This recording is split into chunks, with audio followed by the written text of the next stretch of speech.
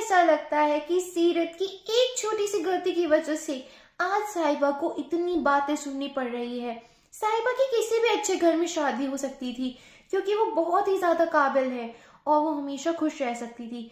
लेकिन उसे सीरत की वजह से ऐसे घर की बहू बनना पड़ा, जहाँ पर आए दिन कोई ना कोई तमाशा होता ही रहता है।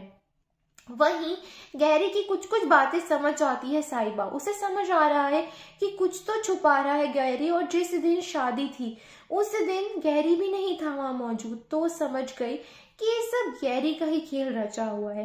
जसलीन की सच्चाई कि उसने साहिबा को शादी के लिए सजेशन दिया था, ये तो सामने आ गई थी। लेकिन अब जब गैरी के रास्ते पर्दा उठेगा तो शायद इस बात को कोई बर्दाश्त नहीं कर पाएगा कि आखिर इस तरह के लड़के ने क्या कर दिया जिसके कारण पूरी फैमिली को इतना कुछ भुगतना पड़ा, जबकि वो लड़का उनके घर का सदस्य ही है।